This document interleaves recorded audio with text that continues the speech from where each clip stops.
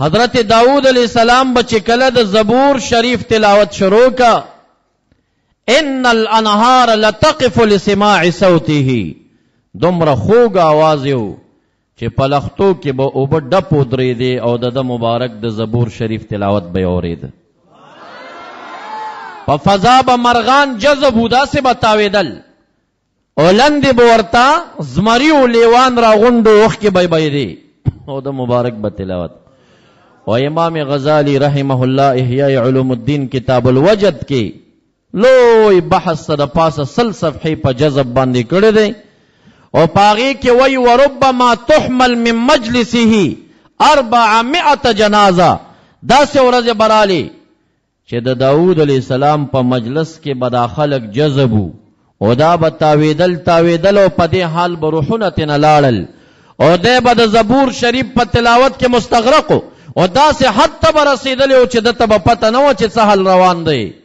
او چې کله به هغه خادم راغی په سر به یې ورته لاس کېښوده او د مبارک به سترګې کولاو کړې چې کتل به یې نو څلور سوه جنازې به د مجلس نه روانې وې څلور سوه جنازې څلور سوه جنازې به د مجلس نه روانې وي د شیخ عبدالقادر جیلانی رحمت الله تعالی علی مبارک حالات چې کتابونو راخستی دي نو په هغې کې هم دا مذکور دي چې یو ځل خپل فرزند ارجمند صاحبزاده درس کوي او دی مبارک راغی او داسې خفي ودرېده او هغه درس کې لګیا دی او داسې مدلل بیان کوي ډېر اوږد بحث یې وکړ ډېر تحقیق علمي ورکې وکړ نو دی مبارک راغی او دی بچي ته وایي که ستا خوښه یې د ستا د ناستو شاګردانو ته به یوه خبره زه هم وکړم هغه وایي وکړه وې بچیه څه چې دې بیان کړ دا ټول قالو راځه چې دا خلک د قال نه راوباسم مقام د حال ته او د خلکو ته یې وویل چې ووایې لا اله الا الله یره د لا اله الا الله سره په دې ټول مجلس باندې یو جذب راغی او ټول داسې تاویدل او حالات راخلی چې داغه په مجلس کې بم کله د جذب خاوندان مرګ ته ورسېدل او د مجلس نه به جنازې روانې شوې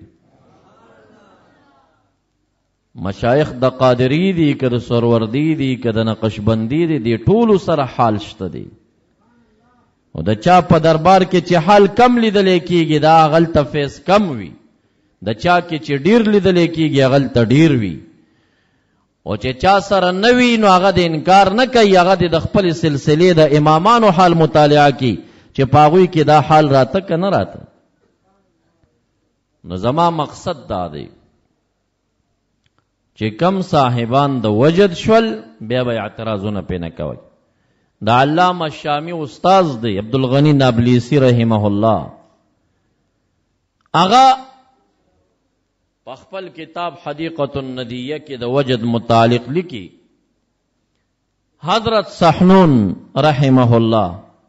د اولیاو منځ کې یو معروف ولی تیر شوی دی خو د هغه حال دا و چې هغه به همیشه تاویده داسې جذب بو دوام سره جذبي و علما پسې راجمع شول او ورته وی ویل دا ته څه شی کې ګریوان دې شلولې دی نو د مبارک باندې بیا جذب راغی نو چې جذب راغی نو داسې تاویږي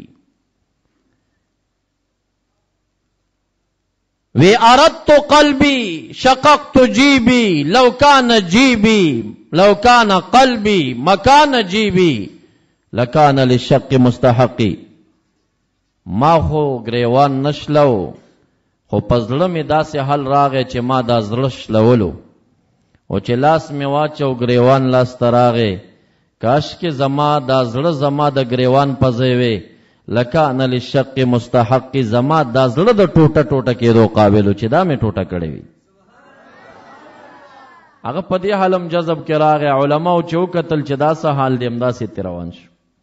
که جامې وشلولې اعتراض مه کوه چې و اسراف یې کړی هغه په اختیار کې نه دی